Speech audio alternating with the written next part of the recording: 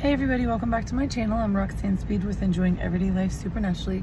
Guys, I just have a word to release. I was just sitting with the Lord the last couple days and through everything I've been going through and I keep getting this, um, your name.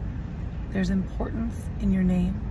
There's significance in a name and why God allowed that parent to choose that name or why the, the parent or the people that named someone, why they led that way. Why were they leaning toward that name? You know, my name Roxanne is Persian and it means uh, bright light, uh, the morning dawn, dawning of a day. In another translation, it means lily.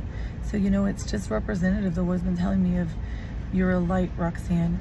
You're a bright light, like that first light that goes out and it sets the night um, and it transitions into today. And so when I think of my name being dawn or bright light, I think, okay, I'm going to be the one that's going to go out there and help people see the light, or I'm going to shine with the light of Christ. Um, you know, my daughter's name means friendly or ally.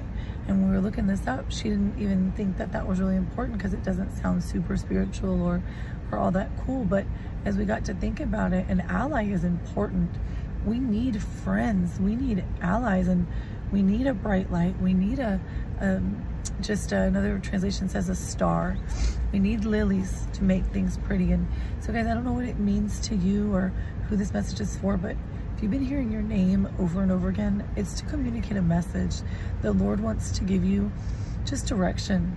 He wants to show you, I hear right now, just that your name is of importance. It has a lot to do with where you are and how you're launching off into this new kingdom assignment I've given you. So don't take your name lightly. You know, if your name doesn't mean the greatest or doesn't have a positive connotation necessarily, he's still going to speak to you. So guys, I just encourage you to go look up your name. It's really, really cool what the Lord has been showing me and use that as a, a message as God is talking to you just in and through your name, guys. And he'll give you more revelation when you're sitting there reading and researching your name and what that means, excuse me.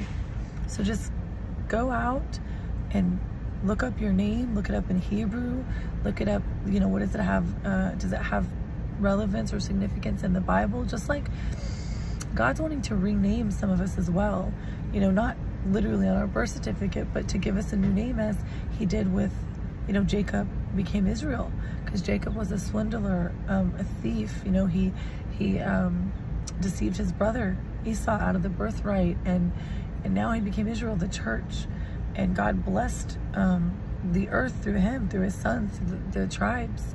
So you never know what could be in your name. And if it isn't a good, positive thing, the Lord is saying that I'll rename you. You are a new creation in Christ.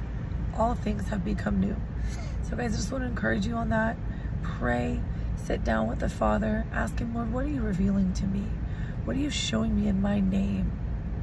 Or trying to tell you you know, what to stay away from or just give clarity and direction. It's really cool that the Lord's been talking to me through a name. Well, guys, love you.